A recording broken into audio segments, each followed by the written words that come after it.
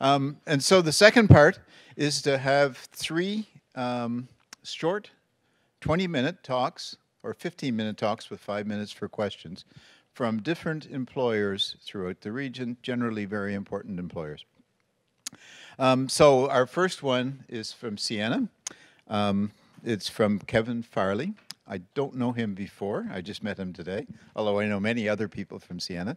And I'm looking forward to what he has to say. And I think that many of the students here, I, I know I told my class, I teach a class in lasers, you have a chance to come and hear from important people in companies telling you what it's like and how it's different from what it's been for you in the last 15 years of studying in academia. So come and hear a perspective on that kind of what the environment's like. So Kevin?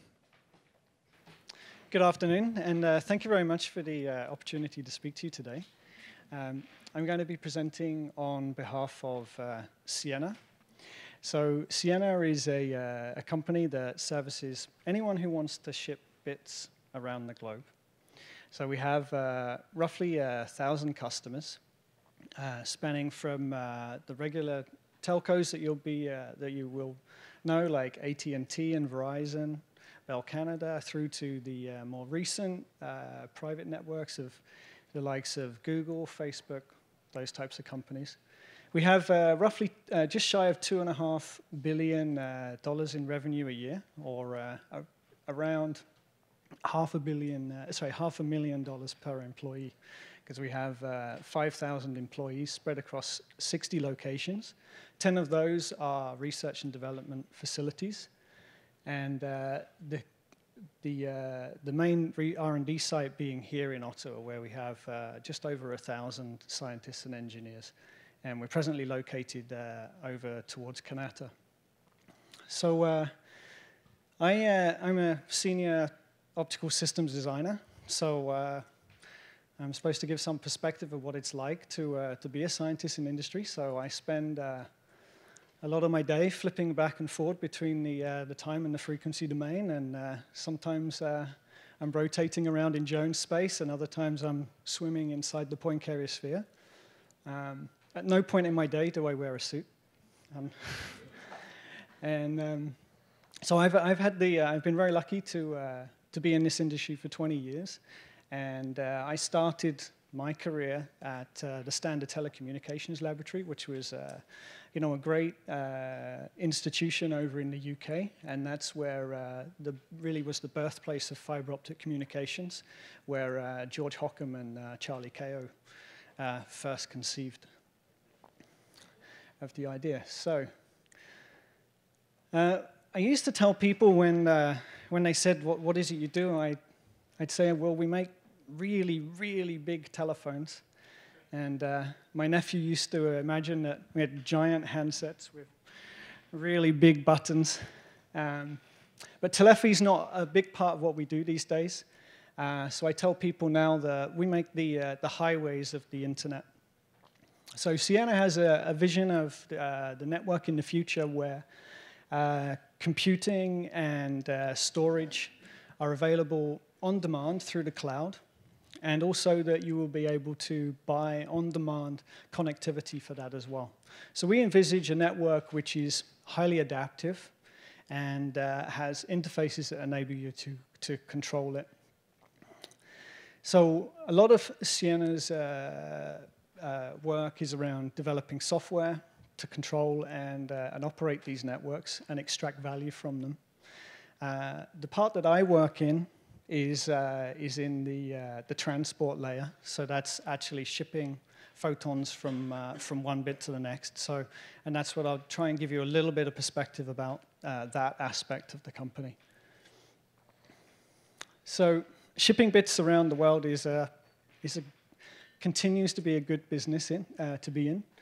So um, you'll all be aware of some of the uh, dizzying numbers that big science produces, like uh, you're probably you're aware that you know CERN produces around 30 petabytes of data a year, and uh, in an increasing uh, world where we collaborate more and more, that gets shipped between institutions um, over an optical network.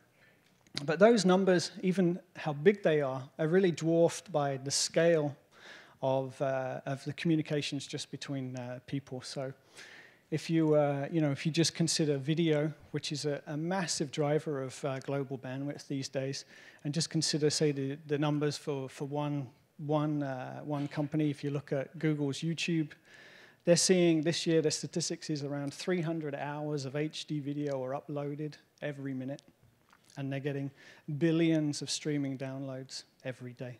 So that drives an absolutely massive amount of bandwidth. But what I find uh, much more interesting is that we're now entering uh, a new phase where machine to machine communications is starting to overtake that. So, uh, and this is really driven by just the sheer number of transactions. So, for example, if you look at Facebook, uh, when you click on a like in Facebook, that typically sends around about one kilobyte of information into Facebook's network. And uh, that then gets shared amongst all of their servers where they're doing analytics. So we're now in a, uh, a, a phase of uh, big data and data analytics. And there's a multiplication factor on that information of uh, somewhere between a, 100 and 1,000. So, uh, so that's generating massive data. And uh, so our challenge at Ciena really is to figure out how to ship those bits around the world at lower and lower cost every year. So um, I was asked to sort of give some perspective as uh, what it's like to be a scientist at Ciena. And so I thought a bit of time about what adjective might describe that. And I think the one that kept coming back to was we play a lot. So um, I know my, my boss is in the audience here, so I, I have to qualify that we play with the relentless pursuit of profit, Maurice. Um, but um, we do, uh, you know, we make some pretty fun toys. So this is a toy that, uh, that's in our team. And uh, so this is a prototype optical system that, uh, that we have. And um, so we have a prototype transmitter. So this transmitter, we have uh, four 6-bit uh, to digital to analog converters, uh, each running at 86 gigasamples per second with 40 gigahertz of electrical bandwidth. And those four DACs drive uh, four Mach-Zehnder modulators, which are combined in dual polarization and quadrature. So the way I sort of view that transmitter is it's, it's an arbitrary waveform generator with a bandwidth of, uh, an optical bandwidth of uh, 80 gigahertz. And you can see an optical spectrum up there of uh, something that we produced in the lab. So it's interesting to look at those on spectrum analyzers, but it's more interesting to do something with them. So we also prototype uh, optical line systems. So we have a lot of optical fiber in our labs. Uh, we have many optical systems. Um, we can, uh, our longest is uh, up to 10,000 kilometers of optical fiber in the lab. And uh, we can uh, configure that in, uh, in an infinite number of ways with optical amplifiers, with optical switches. Um, we have components to tailor the gain spectrum. and we also have recirculating loops as well. And then at the output of those systems, we have a prototype receiver. So this contains uh, is coherent detection. So we're able to detect the, uh, the magnitude and the phase of the, uh, of the electric field. And um, so we're able to then uh, uh, convert that into digital signals using 8-bit uh, ADCs, each running at 160 gigasamples per second with 65 gigahertz of electrical bandwidth. So this system is very, very flexible, and it enables us to prototype novel modulation formats, prototype novel uh, uh, signal processing algorithms. And um, it's a lot of fun, especially now that we've entered coherent communications, because now we have access to the electric field. We can, uh, we can do a lot, a lot of processing. And uh, just up on the, uh, the right there, you'll see just an example of, uh, of something that we were doing recently. This is a, a multi-dimensional hypersphere uh, constellation, and I'm just showing a projection there of uh, one polarization in the uh, Argand plane. And you can see that we have, uh, we have a very high fidelity in this test set, so we can, uh, we can produce uh, our waveforms with, with over 20 dB of signal to noise ratio at, uh, across that bandwidth.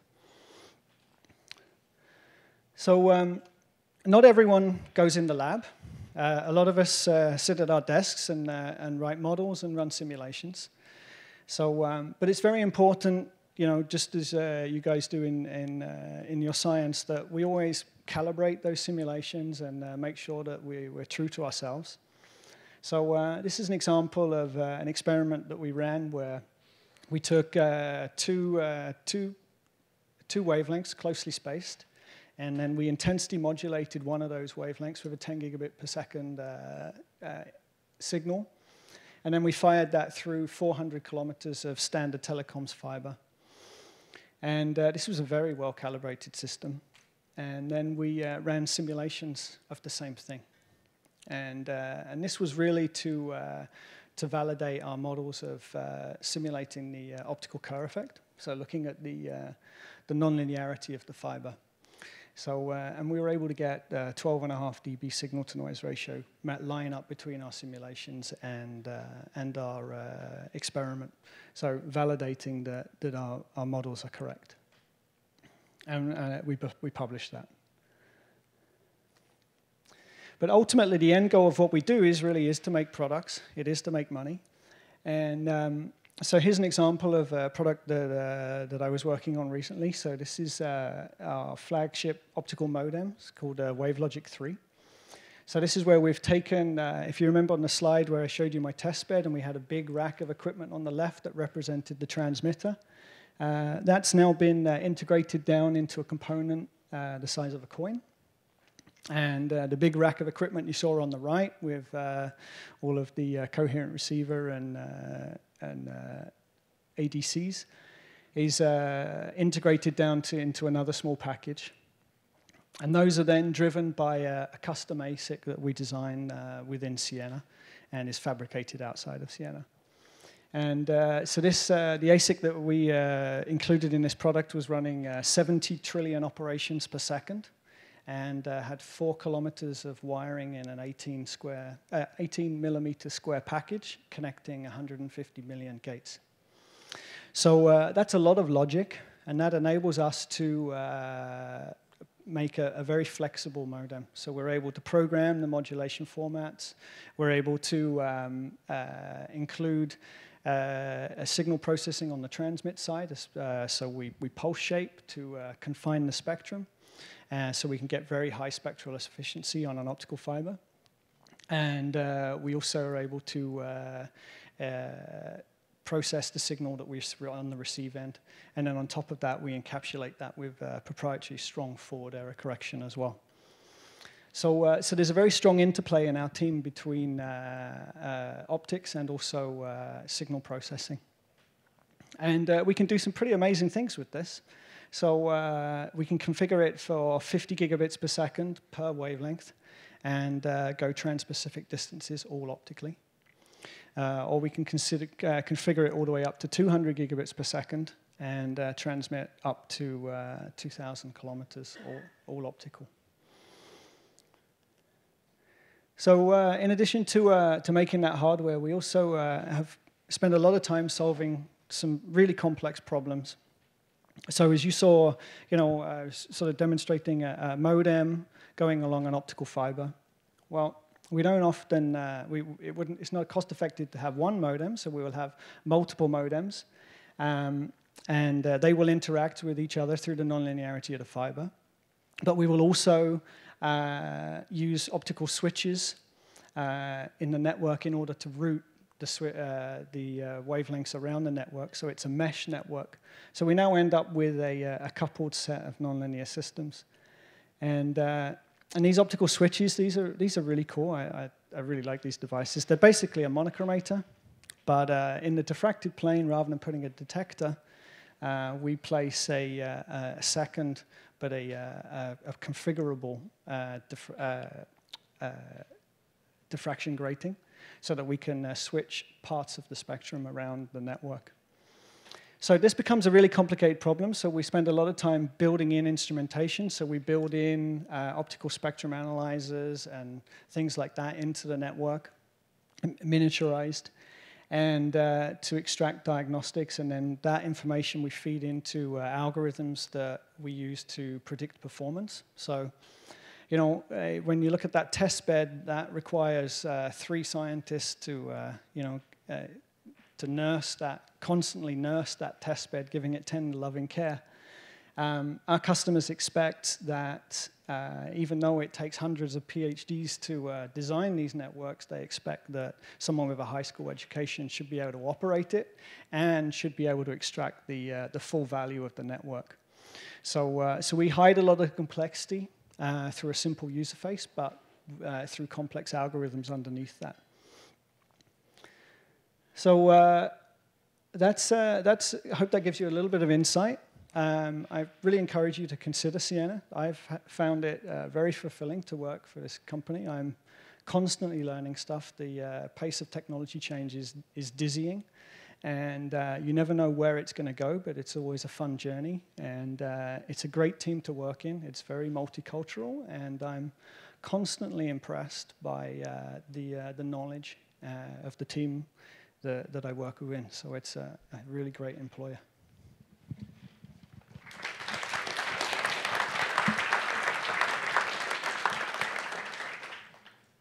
You mentioned that you do some post digital signal processing to your received signals. So, as I know, there are mm, two class of methods to demultiplex the data that is transmitted, but I'm always concerned which one is prefer preferable over the other one. So I know that there are two classes, data-aided and blind source separation methods. So in your mm, post-signal processing methods, which one is uh, used most of the time? So uh, that, that, might be getting a little proprietary, but uh, yeah, uh, maybe I can come over and uh, chat with you after the presentation. Yeah. okay, thank you. Oh. I don't know. If, um, this is just a random question. I'm not sure if it's um, feasible in, in the near future and the, the uh, uh, when will we see a transition from using electronic regenerators to all optical regenerators or electronic switching to all optical switching? Do you think that's feasible or is it uh, like... Uh, okay, yeah, thanks for your question. So, well, as I've uh, put up on the slide there, we're doing uh, trans-Pacific all optical. So there's no electrical regeneration in that at all. How about the switching? Uh, switching, so yeah, we do do all optical switching as well. So uh, these uh, the optical switches that we have enable us to switch uh, configurable amounts of bandwidth in multiple paths. So uh, so they're very flexible. Uh, what I yeah. mean more is, is like routing, not just changing the. So we're not switching at the packet level. Uh, what I mean is, the, is routing, like, you know, given the address and these, like, for example, each switch knows the address and then moves to the. Yeah, so we're not doing uh, packet switching where the, uh, the, we encode the routing information within the, uh, the signal. Uh, all of the switching is uh, orchestrated from a higher level of uh, control and automation, but we are able to switch modems, reconfigure them across multiple paths uh, independently. So we're not just switching an entire spectrum, we we can independently switch different parts of the spectrum uh, across different paths of the network. Right, thank you. Thanks. Thank you very much. So I'm sure we haven't exhausted all the questions, and especially if you're shy. But I believe, Kevin, you're going to be around for a while, and the poster session is a great time to find him again. Now, uh, a second large employer around Ottawa, of course, is the government and NRC. And so we have Ruth Raymond from uh, NRC, and she will speak to us for 20 minutes about what it's like to work in the government and what we're trying to do and things like that. Bonjour, je m'appelle Ruth Raymond, je suis la directrice de recherche et développement du portefeuille TIC au Conseil national de recherche Canada. I'm delighted to be here with you today and to talk to you a little bit about what we're doing in photonics in the Information Communications Technologies portfolio, and if that intrigues you, invite you to consider career with the NRC. We've heard a lot today about anniversaries going back 100, 150 years. Well, I'm proud to say that the National Research Council is now just verging on its 100th year anniversary. We'll celebrate that in 2017. And there's enormous number of contributions that this organization has made over that period of time to not only to Canada but to the world. Going back to such things as the invention of canola, uh, canola oil. Did you know the CAN stands for Canada, invented at NRC? Onto the crash position indicator that's used in the black box in, air, in aircraft today, the contributions to the Canadarm on the space shuttle, and an enormous number of uh, contributions in the area of material science and uh, photonics. The Information and Communications Technologies portfolio is just one of 12 portfolios at the NRC. We are not the only group doing photonics. As you know, and the Strategic Disruptive Technologies is also uh, working on areas of photonics. We are in the Emerging Technologies Division. And ICT, or its previous Institute for Microstructural Sciences, has been working in semiconductor photonics and electronics materials and component development for the last 30 years. We have been the source of num a number of uh, startups that have been generated and spin-offs of, of, the organization, seven, including such companies as SiGe Semiconductor. Today, we're a staff of about 110, 120 research scientists, engineers, and technicians working in, working in the area of inorganic and organic semiconductors. So you may have heard that NRC is transforming or, or has transformed into a research technology organization. So let me just put a little bit of perspective on that and what that means. And, and to do that, I'll talk about the technology road, um, technology um, readiness level spectrum. This was something that was developed by NASA back during the uh, space program to define a technology in terms of its readiness to launch in space in that, in that particular situation, but many variants of that have been developed since that time in terms of manufacturing readiness levels or scales that are pertinent to particular industries. So we think of that as a scale of 1 to 10, and where the technology is being developed. And if you overlay on that the innovation scale, you'll see that there's an area which is generally the purview of both government and universities in the past. And, and NRC has been that at the technology uh, levels of one to three, let's say, which is a basic or fundamental research. And then over in the, the end of the scale, let's say seven to nine area, that's where industry has been working. And in many industries, and including photonics, we know that there's a gap in the middle there of bringing that technology out into the market and making it manufacturable. So really what NRC is doing is moving into that gap. So we're now, as a research and technology organization, focusing on technology readiness levels from three to seven, say, and in our case, maybe moving up to eight, in terms of bringing focused, market-oriented, and customer-driven technologies that will benefit industry. Does that mean that we're not doing fundamental research? No, in some cases we're still continuing to do that, but particularly when there's a market drive for it and there's a clear benefit in the near term to Canada. So what are we doing in terms of photonics at Information Communications Technologies? Our largest program is the Advanced Photonic Component Program. It's a five-year program started back in 2012, so we're halfway through that program and meeting our deliverables and our milestones. And we will be and are developing new programs as we go along. A program is a very defined, uh, with defined outputs in a, in a defined period of time. So what we're focusing on here is the objectives to grow and support the Canadian telecommunications industry. And we just heard from industry as to what some of the needs are and some of the, the challenges that they have. So we're looking at clients, we're working very closely with clients who are looking at applications in data center, data center interconnect, and long-haul telecommunications. We're supporting them through fabrication of high-speed active devices, primarily for um, uh, high-speed greater than 100, gigabit, uh, 100 gigabits per second coherent communications. We're working at the design level, the fabrication, test, and integration. And we're looking at also uh, prototyping on silicon photonics with the whole um, goal to be able to create more highly integrated, cost-effective, manufacturable, and by manufacturable, you'll hear me saying that quite a, quite a number of times, to make repeatable, uh, reliable processes that can lead to cost-effective devices. So some of the work that we're doing in the development area from, say, technology uh, readiness levels three to six is in the area of uh, on silicon, sub-wavelength structures, waveguide couplers, um, demultiplexing components, and on our um, on the three fives or the active components, semiconductor lasers, modulators, and basically the building blocks that we see as this constellation of building blocks that can help our customers bring their products to market. And always looking towards that panacea of being able to integrate these into more highly complex devices.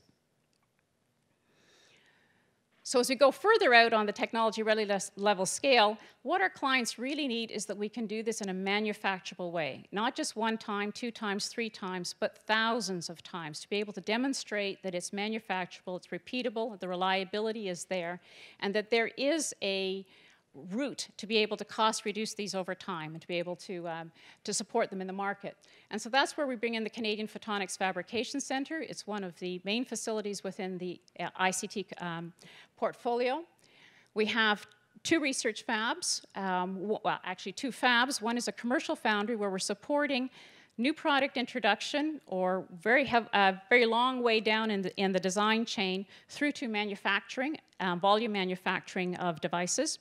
When I say volume, we're talking about clients that look at tens to hundreds of wafers per month. And you can just imagine in terms of number of devices that can fit on a three inch wafer, what that means in terms of volume. Uh, then we also support our Fab 2, which is our research fab that allows us to work and develop. It's much more flexible um, environment to be working on the development of new technologies, such as prototyping in silicon, silicon photonics, looking at photonic integrated circuits. Um, this is where we're also developing our C-band multi-wavelength devices that can emit at uh, more than one wavelength. Uh, gallium um, antimonide infrared lasers, and we also support our other portfolios in looking out into the future in terms of components for quantum communication and cryptography. So how's that working for us? Well, we are growing, and we're growing dramatically. So in the time since we've put this program in place and building on our strengths from the past, we have multiplied our, our interaction with clients, 45% compound annual growth rate in terms of that interaction. So we're now three times where we, uh, the size of what we were in terms of the uh, projects that we're working on. That has led to our need to grow out our staff. We've been growing out by about 15% and have even moved to multiple work shifts in order to support the fabrication of components. We've had to increase our capacity substantially in terms of bringing in new equipment. What you can see there is one of our, our newest toys has been commissioned in the last year, which is uh, an MOCVD epitaxial tool. And we're now um, qualifying our clients to be able to um, produce product on that tool. So that has caused us to grow, and that's an exciting place to be. So we have been, and what I've got on the right here is a list of some of the uh, positions that we have hired over the last year, 18 months, and ones that we're continuing to hire right now. And in fact, if you go on our website, you'll see some of these, many of these that are posted um, uh, in, in, terms of competitions. So everything from material physics all the way down to the growth of our, our facility to be able to provide repeatable product. And we're looking at things like quality assurance, industrial engineering. So what's exciting about working at NRC, ICT? It's the ability to work on multidisciplinary teams. When we're pulling from people from the design, the materials physics, all the way through to the fabrication and production, and not only to work on a team that comes from a varied number of people from, from uh, NRC, but working in virtual teams right with our clients.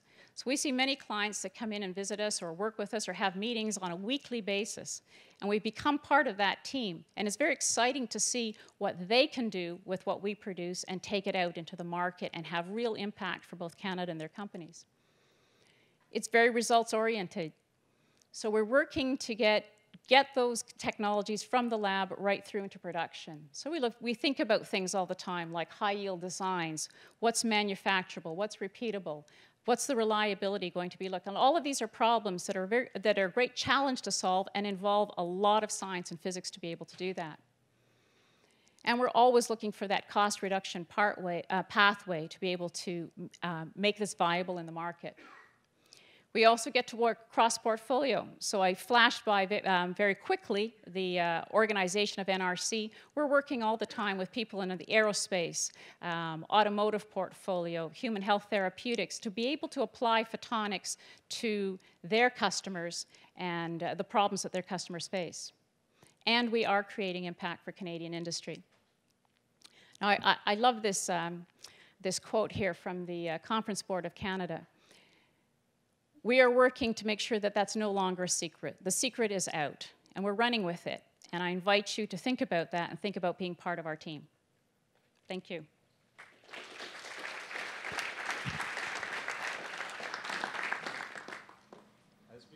So Ruth, I'm, uh, I'm, I'm finishing my master's or I'm finishing my PhD in double E. I've got some experience in, I'm, I'm assuming this is the case, but, uh, and, and, and uh, I've got some experience in clean room environments. So what kind of opportunities, um, you, you gave us a bunch of core competencies that you're looking for, that's good. So I'm assuming that I will go in the lab and, and push wafers through these tools. But if I did, in double E, many of our double E graduates uh, will have quite significant experience in the designs of, of devices. Um, is there opportunities on the theoretical size or modeling side aspect of, of the jobs? Absolutely. Um, of, we work through right from design and modeling all the way through to test. And you know, we used to be, as you well know, the uh, you know we would produce a wafer, and the wafers would would leave from us, and our clients would do a lot of the work in terms of testing and going beyond that. We're working much more up the chain in terms of um, alleviating our clients uh, doing that and doing a lot of the test and qualification of these devices. So there's a lot of room um, in terms of um, uh, uh, double E. There's a lot of room in terms of material physics because solving some of these problems, as I've said, when you're trying to improve yield, comes right down to, to they're, tough physics problems. And this is the beauty of working um, in a multidisciplinary area. So you may start in one area, you may, as you said, someone coming in with some fab experience, we'd love to have that. You start learning how to grow these wafers or how to process these wafers, and then can translate that into working in a completely other domain in terms of test. Um, we're looking at programs where we bring people in and move them through those various areas to get a, a, smattering of all of the technologies and then see where their interests lie. And I think that's a tremendous opportunity for someone who may not know exactly where you want, want to be in the long run. Hi there. Um, so NRC is coming up on its 100th anniversary. Um, and as a government institution, it has a, um, groups of scientists who can focus on a particular problem for a very long term, long period of time. Uh, why is it a positive thing to move towards um, a shorter term, market driven type of research as compared to a longer term focus? For example, I mean, Herzberg I don't think was making lots of gadgets to sell so much, but a lot of people have profited from the, uh, his research into spectroscopy. And that's a wonderful question. Thank you for posing that because it's often, you know, what, what people ask us. And it really depends on the industry that you're in and what the problem that Canadian industry is facing. So as I mentioned to you, you know, sometimes you see this gap in the technology or a gap in the development, and that affects bringing these technologies onto the market. We do see one in the photonic component area, but in many other areas, such as astronomy, for example, as you said, that may not be how we approach the problem. So we are looking at, um, at that middle technology readiness um, area in order to solve those problems.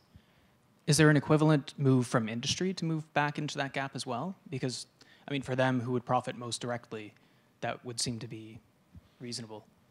Um, yes, it is, but depending on what their time scales are and their ability to make that, those investments. And quite often, uh, industry may not have that ability to make the investment in terms of the equipment that would take, let's say in the semiconductor field, um, as well as uh, uh, the profitability. So therefore, the gap exists, and that's why we do try to fill it and work as closely with our clients as possible. Thank you very much. You're welcome. Okay, so um, my question is about how you measure success. Mm-hmm. In the sense that in academia, success in the brutal way is often measured in impact or publications or patents, and in industry, it's often measured in profits. So, can you tell us a bit more about how you measure success at the end of the year? So that can be a difficult one. It's easy to often measure success in terms of dollars and cents, but that's not necessarily what we're looking at. Um, of course, internally, we have some of those measures, but we're looking at impact. So we look at what you know, our client success is. And clients may improve their market share.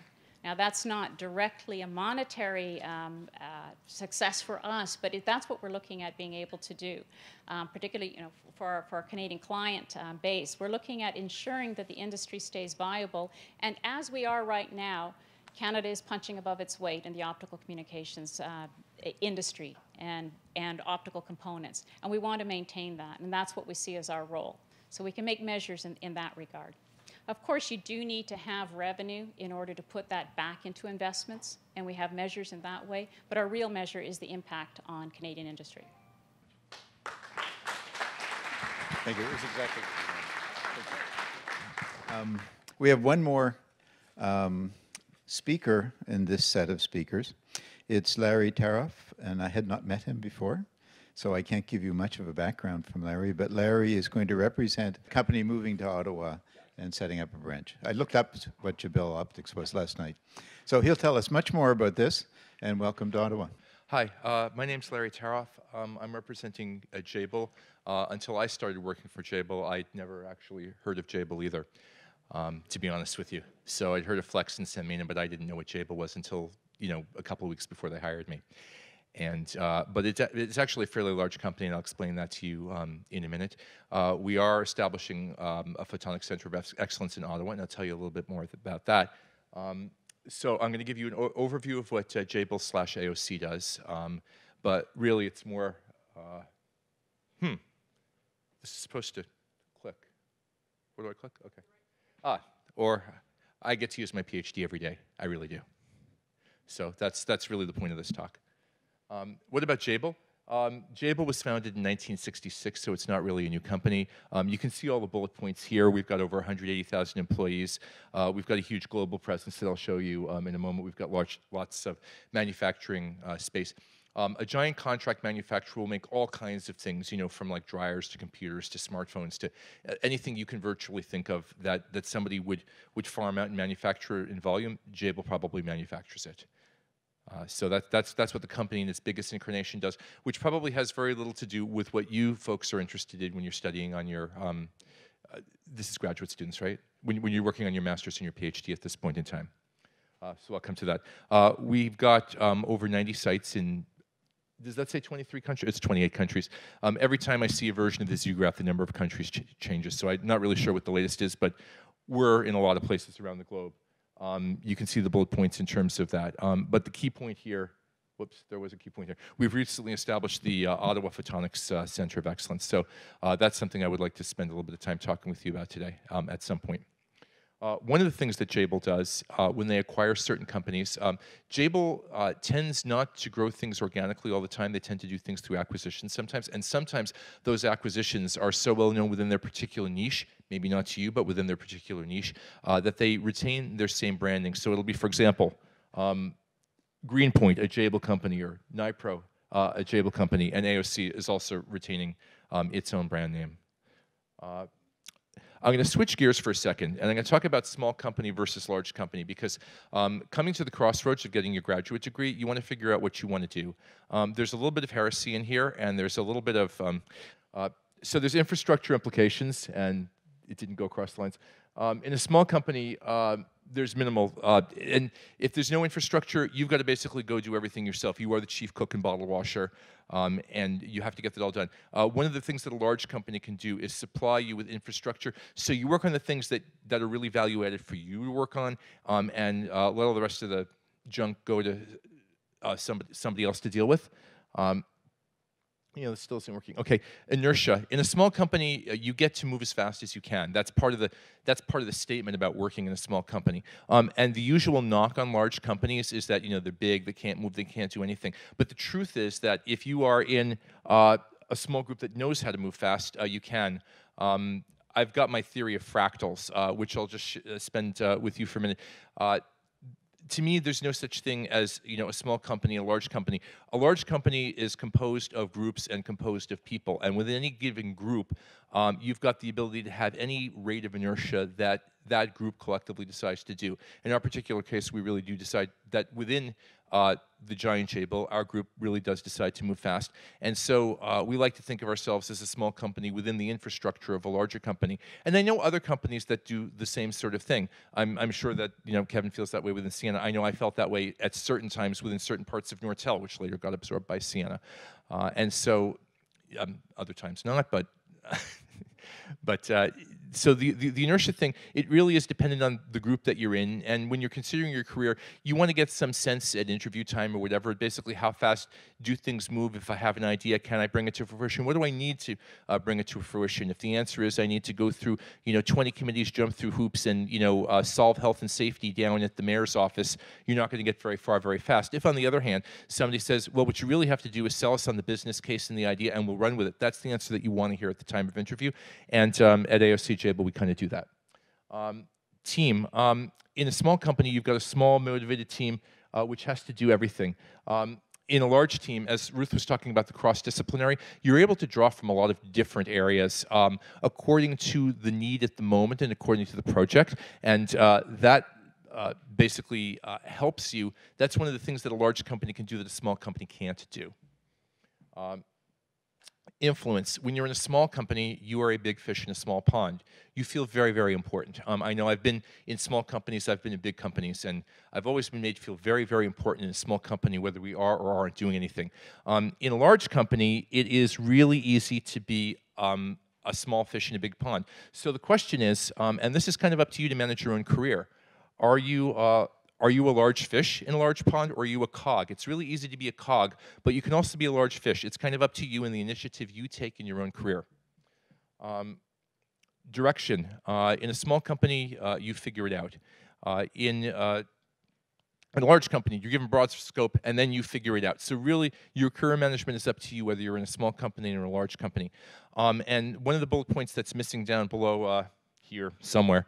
Um, I was talking about uh, career development. So in a small company, there's no such thing um, as career development. Whereas in a large company, um, it's not so much whether you do or don't move up the corporate ladder, and a lot of people don't really care about this at this point in time.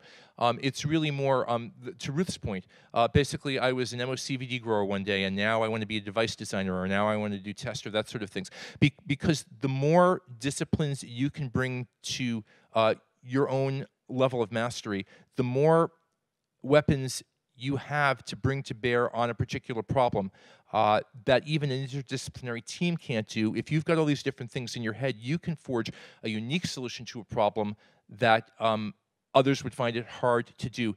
And a large company environment, when done correctly, when done in a really good way, um, is, is, is a force for good for doing this sort of a thing. So now just, just some details about some of uh, the companies uh, within Jabil.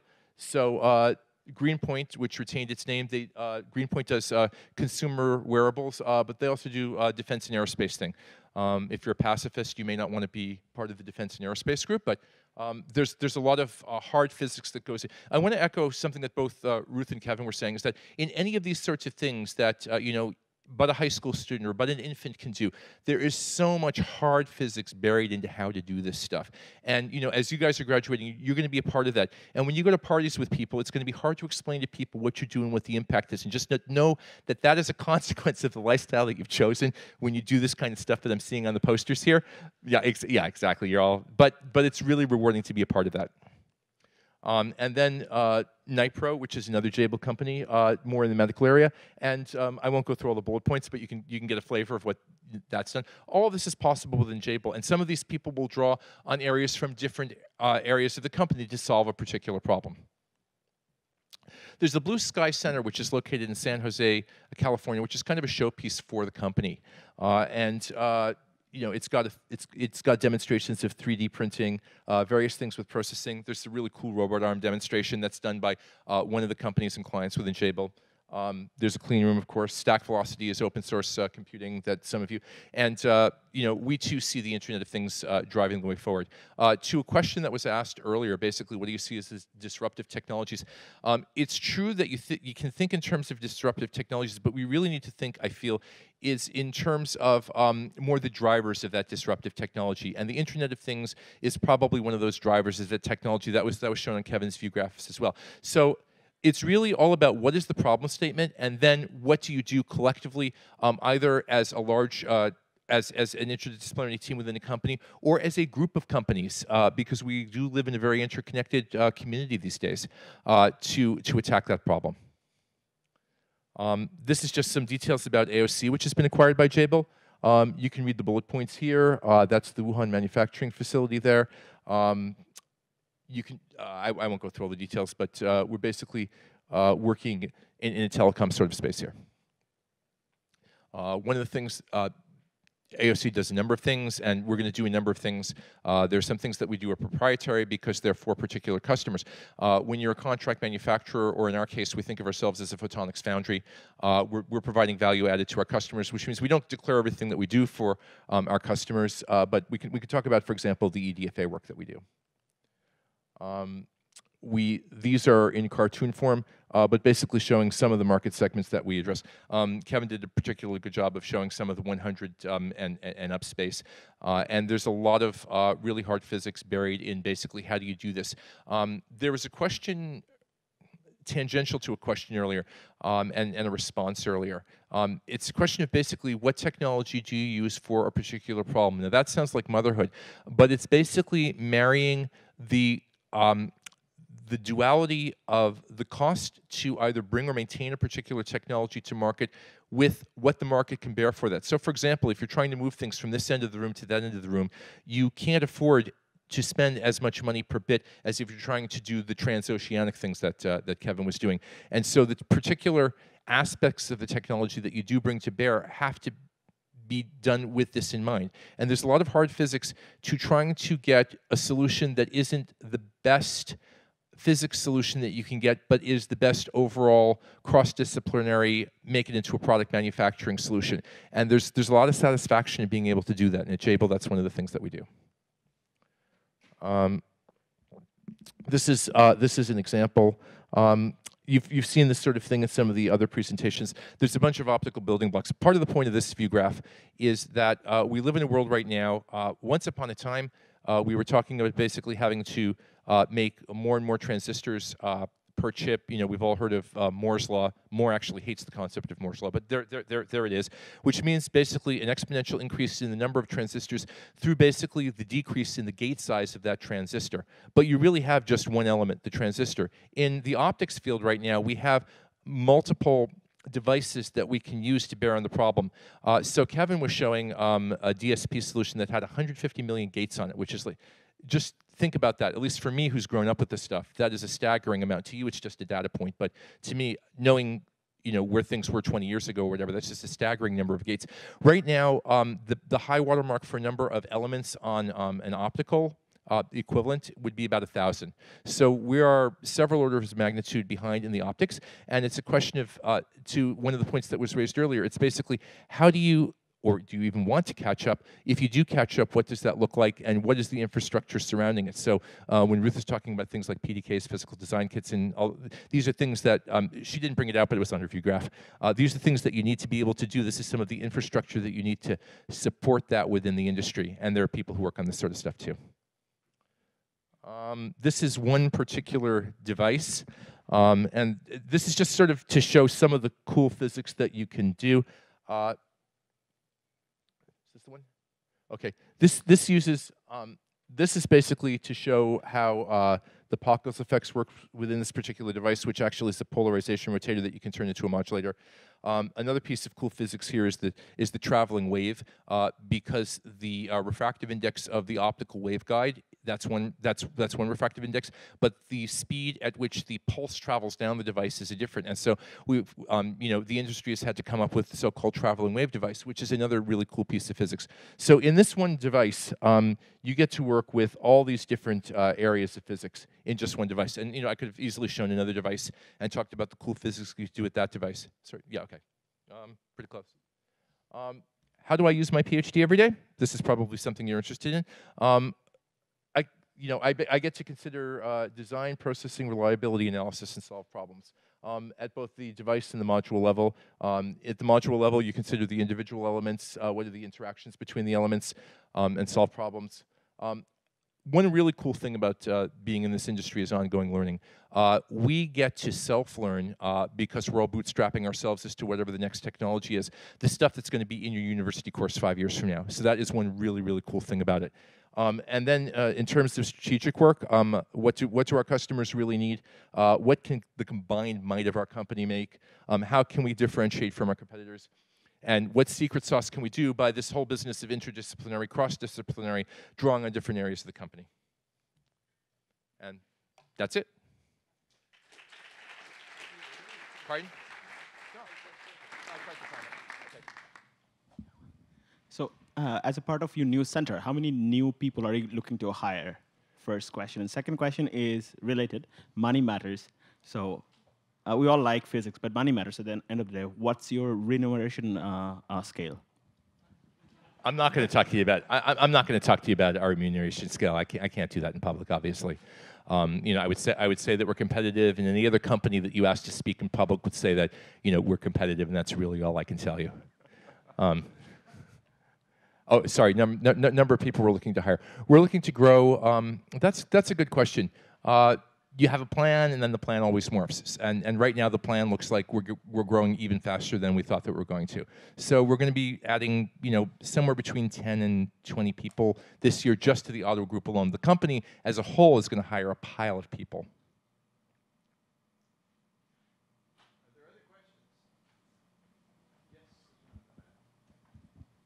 Uh, thanks for your presentation. Uh, I'm just wondering, out of curiosity, uh, if you have any optical signal processing, and do you have, uh, like, uh, is there any real optical memory yet uh, that that's um, usable, like commercial? That's a good question. I can't really, I'm not an expert in optical memory, so I couldn't really speak to that. I, I could make up a story, but I um, I couldn't really um, answer. Optical signal processing, I mean, of, of, of course people look at that. Um, is it a mainstay of the stuff that we're doing right now? I wouldn't say that it necessarily is.